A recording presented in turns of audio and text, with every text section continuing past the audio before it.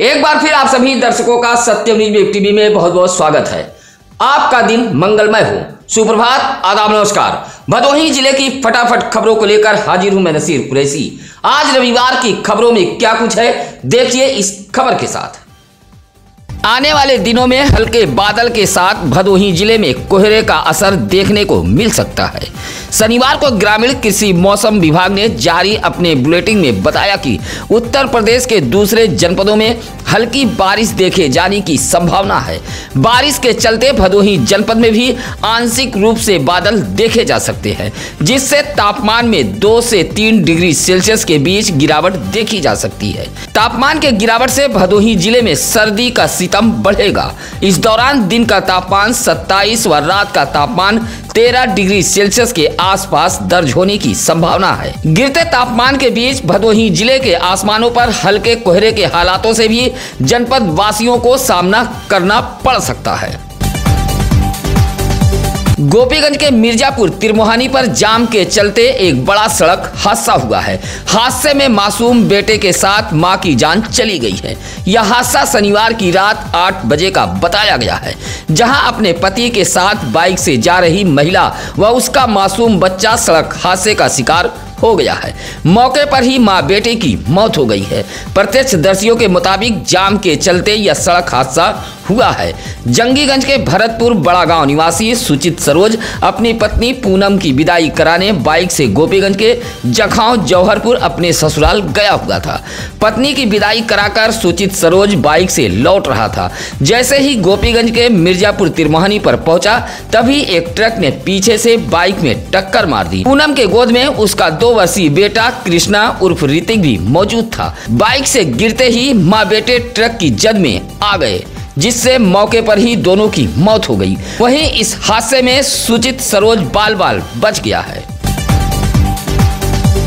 गोपीगंज के मिर्जापुर तिरमोहानी ओवरब्रिज के नीचे हादसे के बाद हड़कम मच गया था। ओवरब्रिज के पिलर में आवाज़ आने के चलते ओवरब्रिज पर कई दिनों से काम चल रहा है, जिसके चलते वाहनों का लोड ओवरब्रिज के नीचे बढ़ गया है। यही वजह है कि गोपीगंज में दिन भर जाम के हालात बने रहते हैं। जाम के चलते ही बाइक सवार माँ बेटे की मौत हुई है। हादसे के बाद मिर्जापुर तिरमोहानी पर अफरा तफरी फैल गई थी। सूचना मिलते ही पूनम के मायके वाले व ससुराल से लोग रोते बिलखते पहुँच गए थे। परिजनों के मुताबिक पूनम पाँच माह के गर्भ से भी थी और आज रविवार को पति सुचित सरोज के साथ मुंबई जाने वाली थी। पूनम अपने मायके गोपीगंज के जखौं जौहरपुर से अपने पति सुचित सरोज के साथ बाइक से ससुराल जंगीगंज के भरतपुर बड़ा गाँव जा रही थी। साथ में दो वर्ष का बच्चा कृष्णा उर्फ़ ऋतिक भी मौजूद था। मिर्जापुर तिरमोहानी पर यह हादसा हुआ है। हादसे में माँ बेटे की मौत हो गई है। उधर हादसे के बाद चालक ट्रक लेकर फरार बताया गया है। पुलिस ने शव को कब्जे में लेकर पोस्टमार्टम हेतु भेज दिया था। सुरंग में फंसे श्रमवीरों को बचाने के लिए अब भदोही में भी पूजा पाठ शुरू हो गई है। सुरंग में फंसे 41 मजदूरों की ज़िंदगी बचाने के लिए शनिवार को भदोही तहसील बार एसोसिएशन के पूर्व अध्यक्ष सूर्य प्रसाद द्विवेदी के नेतृत्व में तहसील के अधिवक्ताओं ने भगवान को मनाने का काम शुरू कर दिया है। भदोही तहसील परिसर के मंदिर में पहुंचकर तहसील के अधिवक्ताओं ने सुरंग में फंसे श्रमवीरों को बचाने की भगवान से अरदास की है। उत्तराखंड के उत्तरकाशी में सिलक्वारा बड़कोट सुरंग में फंसे 41 मजदूरों की ज़िंदगी के लिए भदोही में प्रार्थना की गई है। टनल में फंसे 41 मजदूरों की ज़िंदगी के लिए भदोही के अधिवक्ताओं ने भगवान के सामने हाथ जोड़कर प्रार्थना करते हुए पूजा पाठ की है। गाँव के सरकारी ज़मीन पर प्रधान परिवार खुद कब्जा कर अतिक्रमण कर रहा है और हल्का लेखपाल मोटी रकम लेकर सरकारी ज़मीन पर अतिक्रमण करने वालों को संरक्षण दे रहा है। कुछ इस तरह की शिकायत की है सुरियामा थाना इलाके के गलेरियापुर निवासी रवि प्रकाश श्रीवास्तव ने। ज्ञानपुर एसडीएम को एक शिकायती पत्र देते हुए रवि प्रकाश श्रीवास्तव ने अपने ही ग्राम सभा के प्रधान परिवार पर आरोप लगाया है कि गाँव की सरकारी ज़मीन पर कब्जा कर अतिक्रमण किया जा रहा है। खुलेआम प्रधान पद का दुरुपयोग करते हुए सरकारी भूमि पर कब्जा किया जा रहा है। रवि प्रकाश श्रीवास्तव ने एसडीएम ज्ञानपुर को शिकायती पत्र देते हुए सरकारी भूमि पर हुए अतिक्रमण को मुक्त कराए जाने की मांग की है। भदोही ज़िले में लगातार झोला छाप डॉक्टर मरीजों की जान ले रहे हैं। शनिवार को औराई के खमरिया में भी चार माह की एक बच्ची डॉक्टर की लापरवाही की भेंट चढ़ गई है। परिजनों ने आरोप लगाया कि इंजेक्शन लगाने के कुछ ही देर बाद बच्ची की मौत हो गई है। खमरिया के वार्ड नंबर तेरह मधईपुर निवासी सरवर अली की चार माह की बच्ची की तबीयत खराब थी।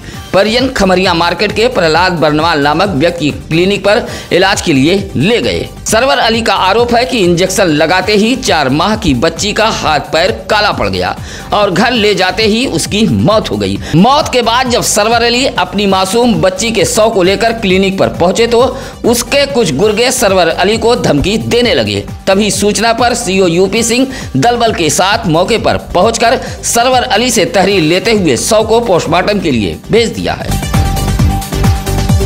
औराई के खमरिया मार्केट में क्लिनिक चलाने वाला प्रहलाद नामक व्यक्ति टिकट भी बेचता है। अब सवाल यह उठता है कि टिकट बेचने वाला व्यक्ति कैसे क्लिनिक चला रहा है? हालाँकि इस संबंध में मुख्य चिकित्सा अधिकारी डॉक्टर संतोष कुमार चक ने कहा कि क्लिनिक के रजिस्ट्रेशन की जाँच कर क्लिनिक संचालक पर कार्रवाई की जाएगी। उधर सरवर अली के बच्ची की मौत के बाद क्लिनिक संचालक के गुर्गे लगातार उसको धमकी दे रहे हैं, जिससे सरवर अली व उसका परिवार डरा व सहमा हुआ है। सरवर अली का कहना है कि लगातार लगातार उसे कार्रवाई न करने की धमकी मिल रही है।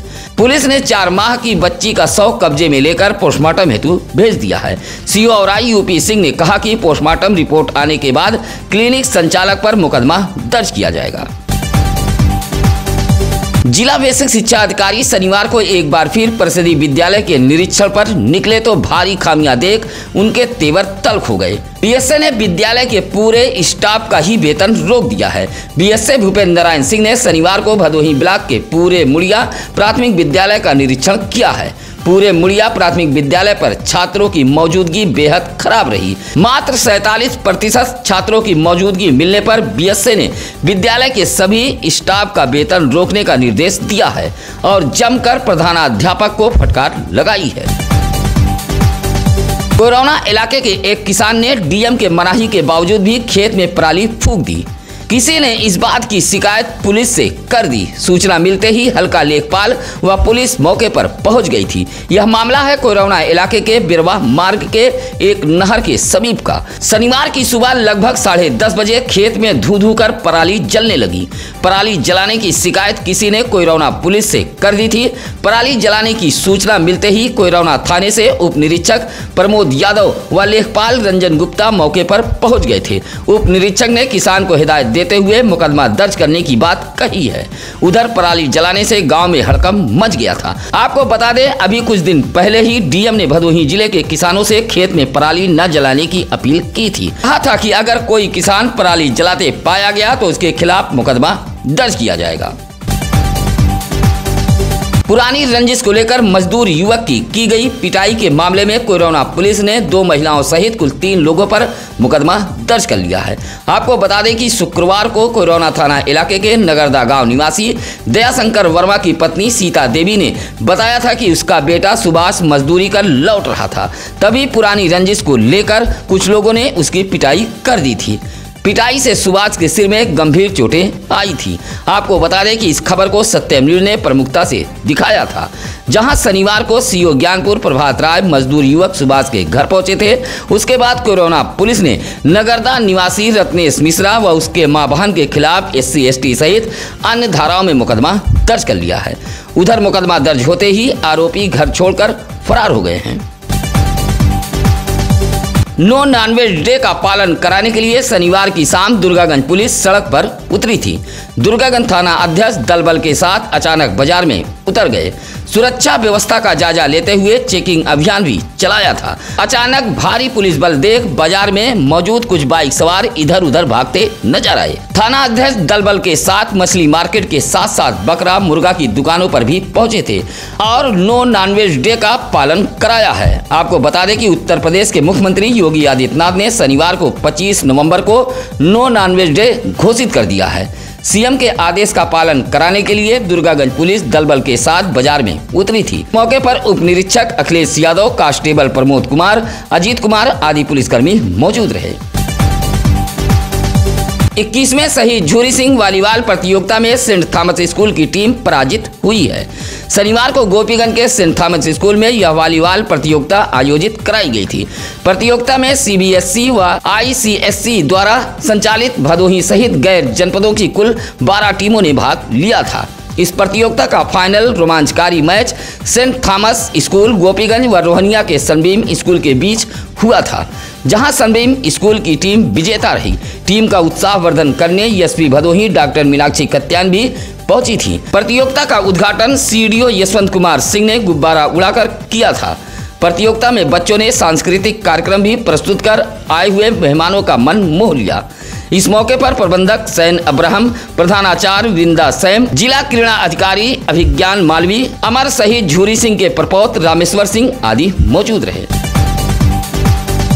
तेज़ी से बदलते मौसम के बीच समाज सेवियों ने जरूरतमंदों के बीच कंबल वितरण कार्यक्रम की शुरुआत कर दी है।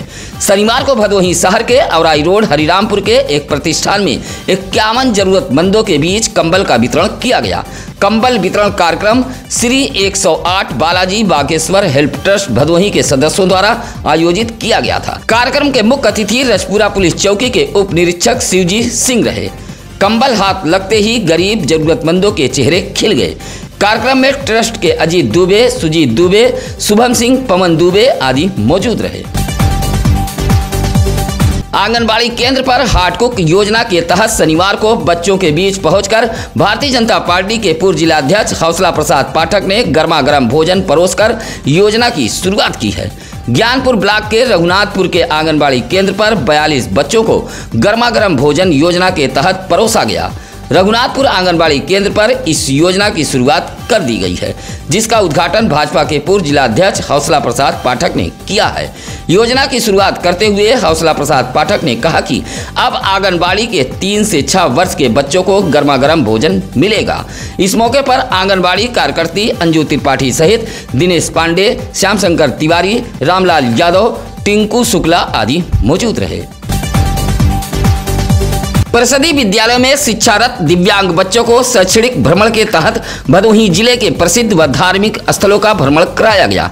शनिवार को ज्ञानपुर ब्लॉक व डीग ब्लॉक के परिषदीय व पूर्व माध्यमिक विद्यालय में पढ़ने वाले 25-25 दिव्यांग बच्चों को जिला समन्वयक समेकित शिक्षा रश्मि मिश्रा के नेतृत्व में बच्चों को भ्रमण पर निकाला गया था। ज्ञानपुर खंड शिक्षा अधिकारी आशीष मिश्रा व डी की फरार रईस ने शैक्षणिक भ्रमण पर निकले दिव्यांग बच्चों के वाहनों को हरी झंडी दिखाकर रवाना किया, जहाँ शिक्षक दिव्यांग बच्चों को सीतामढ़ी लेकर पहुँचे थे, जहाँ बच्चों को सीता समाहित स्थल लौकुश जन्म स्थान वाल्मीकि आश्रम, उड़िया बाबा आश्रम, मौनी बाबा आश्रम 108 फीट ऊँची हनुमान जी की प्रतिमा का भ्रमण कराया गया। इन सभी प्रमुख स्थानों के बारे में बच्चों को जानकारी भी दी गई।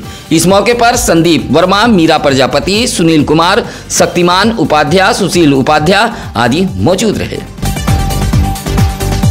खेलकूद को बढ़ावा और ग्रामीण बच्चों की प्रतिभा निखारने के उद्देश्य को लेकर भारतीय जनता पार्टी का किसान मोर्चा कबड्डी प्रतियोगिता का आयोजन कराएगी। शनिवार को भारतीय जनता पार्टी के जिला कार्यालय ज्ञानपुर के जुरई ने एक प्रेस वार्ता कर जिला अध्यक्ष दीपक मिश्रा ने बताया कि भदोही शहर के चौरी रोड अभियनपुर मैदान में किसान मोर्चा दो दिवसीय नमो कबड्डी प्रतियोगिता का आयोजन कराएगी। एक व दो दिसंबर को इस कबड्डी प्रतियोगिता में ज़िले की 16 टीमें भाग लेंगी। प्रेस वार्ता के दौरान किसान मोर्चा के जिलाध्यक्ष सुरेंद्र दुबे सहित विनय कुमार पांडे, उर्फ़ गोरेलाल, मनीष पांडे, नवीन मिश्रा, राजेंद्र पाल बघेल आदि मौजूद रहे। ज्ञानपुर के काशी नरेश राजकीय स्नातकोत्तर महाविद्यालय में होने वाले कौशल विकास पाठ्यक्रमों की परीक्षा घोषित कर दी गई है। महाविद्यालय के प्राचार्य प्रोफेसर रमेश चंद यादव ने बताया कि कौशल विकास पाठ्यक्रमों के स्नातक द्वितीय व चतुर्थ सेमेस्टर की परीक्षा चार पाँच व छह दिसंबर को होगी। परीक्षा सुबह ग्यारह बजे से एक बजे तक चलेगी। शांति भंग की आशंका में शनिवार को गोपीगंज पुलिस ने अलग अलग इलाकों से कुल 11 लोगों का चालान किया है। मारपीट जैसे मामलों में एक सौ इक्यावन व एक सौ सात सोलह की कार्रवाई करते हुए गोपीगंज पुलिस ने कुल 11 लोगों का चालान किया है। गोपीगंज कोतवाली के उप निरीक्षक राजेंद्र प्रसाद ने पूरे भगवत से दो, पूरे प्रताप से एक, इसी तरह उप निरीक्षक सुरेंद्र कुमार छतमी खास से, चार भीकमपुर से, दो इसी तरह चौकी इंचार्ज जंगीगंज रणजीत सिंह ने बदलीपुर से दो लोगों को गिरफ़्तार कर शांति भंग की आशंका में चलान किया है।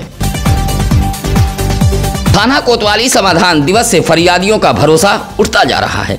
यही वजह है कि अब आयोजित समाधान दिवसों पर फरियादी नहीं पहुँच रहे हैं। फरियादी पहुँच भी रहे हैं तो उनके मामलों का निस्तारण नहीं हो पा रहा है। शनिवार को भदोही ज़िले के अलग अलग थाना कोतवालियों में समाधान दिवस का आयोजन किया गया था। भदोही ज़िले के सभी थाना कोतवालियों में कुल 104 मामले पहुँचे थे, जिसमें से मात्र पाँच मामलों का ही मौके पर निस्तारण हो पाया है। एक बार फिर फरियादी आश्वासन की घुट्टी लेते हुए लौट गए। अधिकतर मामले राजस्व विभाग के पहुँचे थे। लेकिन दोपहर 12 बजे तक भी कुछ थाना कोतवालियों में लेखपाल, राजस्व निरीक्षक जैसे कर्मचारी नहीं पहुँचे थे, जिससे फरियादियों को भारी मुसीबत का सामना करना पड़ा। जिम्मेदारों की लापरवाही व कामचोरी के चलते भदोही ज़िले के सीएससी डीग में प्रधानमंत्री मातृ वंदना योजना फिसड्डी साबित हो रही है। सीएमओ के निरीक्षण में जिम्मेदारों की कामचोरी पकड़ी गई है। शनिवार को मुख्य चिकित्सा अधिकारी डॉक्टर संतोष कुमार चक ने सीएससी डीग का निरीक्षण किया है। नवंबर माह में मात्र इस योजना के एक फार्म भरे गए हैं, जबकि इस योजना को सफल बनाने के लिए डीएक्स सीएससी पर तैनात पाँच एनएम चौबीस आशाओं को यूज़र आईडी व पासवर्ड दिए गए हैं। लेकिन एक माह में मात्र एक फॉर्म भरे गए हैं। सीएमओ ने नाराज़गी जताते हुए सीएससी पर तैनात चिकित्सा अधीक्षक सहित आधा दर्जन से अधिक स्वास्थ्य कर्मियों का वेतन अग्रिम आदेश तक रोक दिया है। मतदाता पुनरीक्षण अभियान का उप जिला निर्वाचन अधिकारी उप जिला अधिकारी कुंवर वीरेंद्र कुमार मौर्य ने निरीक्षण किया है।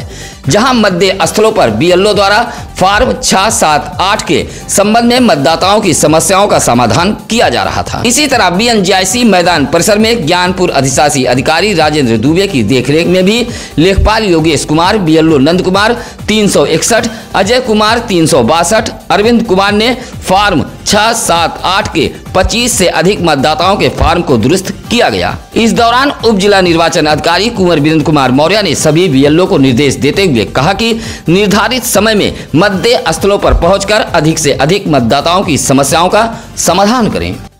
अब सत्यम न्यूज़ आपके वृद्ध माता पिता व बच्चों के जन्मदिन की बधाई भी देगा।